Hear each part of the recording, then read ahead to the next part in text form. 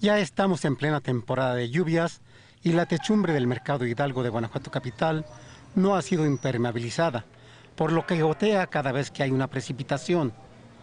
Los comerciantes fueron notificados que el próximo lunes iniciarán los trabajos, para lo cual el gobierno del estado y el ayuntamiento capitalino destinarán 5 millones de pesos.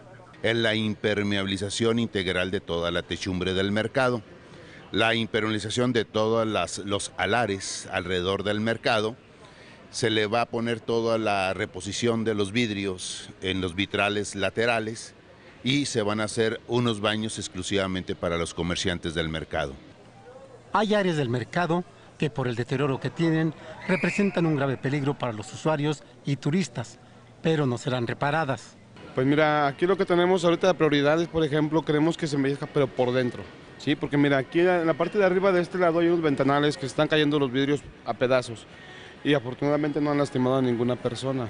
Pero esa es una urgencia totalmente más, más rápido que lo de afuera. Sí, eso es más urgente que lo de afuera. Los comerciantes han expuesto el problema a las autoridades, pero no les han hecho caso. Con imágenes de Aurelio López, Salvador Contreras, reportero, Noticieros Televisa.